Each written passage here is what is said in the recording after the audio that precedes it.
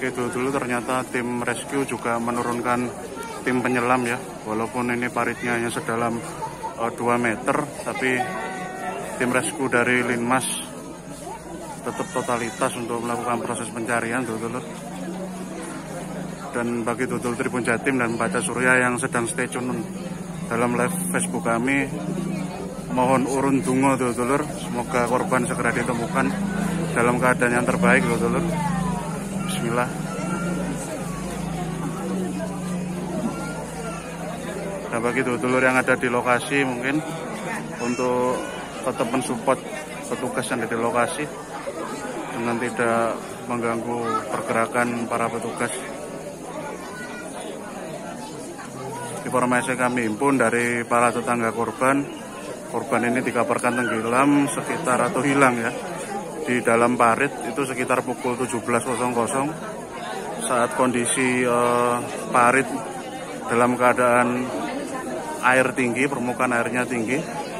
Dan kemudian uh, si korban ini diduga sedang bermain di dalam parit tersebut dan ternyata terbawa arus hingga sempat diketahui tangan kedua tangan korban sempat tampak menggapai-gapai di atas permukaan tapi tidak sempat uh, diketahui oleh orang-orang yang ada di sekitar dan hingga saat ini proses pencarian hingga pukul 18.58 masih terus dilakukan dari telur.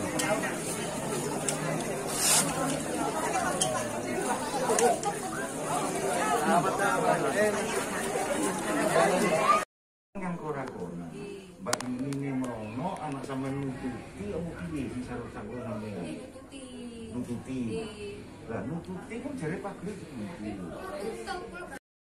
Pak Dari bisa diceritakan ini tadi uh, dikabarkan uh, tenggelam jam berapa tuh? setengah lima. Setengah lima jam lima aja sorenya. Oh, yang tenggelam itu anak usia berapa tahun Pak? dua tahun Dua tahun ya. Nama panggilannya siapa? Ji, Aji ya. Aji. Pak itu tadi uh, informasi yang jenengan tahu itu tenggelam di mana tuh Pak? Enggak maksudnya tenggelam di sebelah mana tadi? sana Di selokan ini Pak ceritanya. Selokan kemudian sampai di sini tadi Pak sempat muncul tangan aja atau gimana? yo seorang pak Hmm, orang kayak tenggelam gitu. tangan gini gini Berarti sempat minta tolong gitu Pak. oh enggak pak Oh kesulitan gitu ya. Cuma orang lihat itu tahu kentir gitu Pak. Oh gitu. Pak eh, itu tadi kondisi eh, paritnya di sini tuh semacam apa Pak? Banjir atau pripon atau bagaimana ini? banjir ini lah bisa banjir bawa itu ke pantai lah Oh berarti tadi sempat hujan deras ya?